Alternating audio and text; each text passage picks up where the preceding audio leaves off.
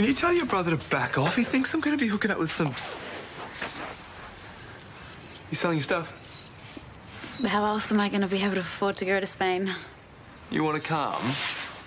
Three months is ages. I'll miss you. I'll miss you too. Will you? What's that supposed to mean? You haven't asked me to go with you. Why would you want to come to my training camp? Maybe because I'm your girlfriend and I want to be with you.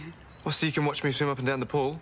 I could be the team's official photographer, sell my shots to support myself while I'm there. Uh huh. What about Year 12? I can still study, I'll do everything online. And then after, we can go and see things. I'm not going to have time to be a tourist. I'll be with the team. Is that the real reason? You don't trust me.